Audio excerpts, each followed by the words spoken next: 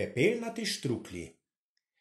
V Bečah je živela žena, ki je imela troje otrok, dva pobiča in eno čečico. Ves dan so letali po vasi ali lovili rake po potokih. Ko je Bepa pozvonil večernico, so hiteli domov, da bi jih mama ne kregala.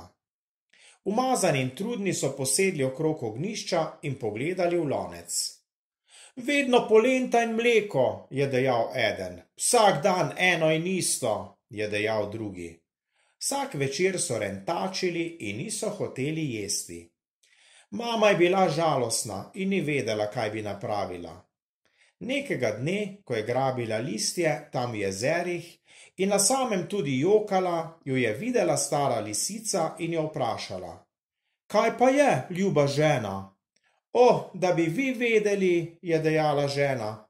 Otroci me nič ne ubogajo, godrnjajo nad vsem, kar skuham in se prejedavajo nad dobrotami. Ne joči, je dejala lisica, ti bom jaz pomagala.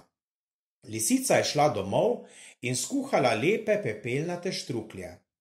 Ko je v zvoniku odzvonilo, se je odpravila s košem dol v vas. Otroci so kot ponavadi rentačili okrog ognišča, ko so zaslišali trkanje. Čečica je šla odpret in videla lisico s košem. Kje so tisti otroci, ki ne marajo jesti ne polente, ne mleka, je dejala lisica. Naveličali smo se jesti vedno eno in isto, so rekli otroci. Radi bi jedli kaj drugega. Prav zato sem prišla, je dejala lisica, in prinesla sem vam štruklje. Otroci so veseli stekli k lisici. Lisica si je snela koš z ramen in jim dala na roke štruklje. Ko pa so jih otroci pokusili, so začeli pljuvati in jokati. Imate rajši moje štruklje ali mleko in polento? Polento in mleko, so dejali otroci.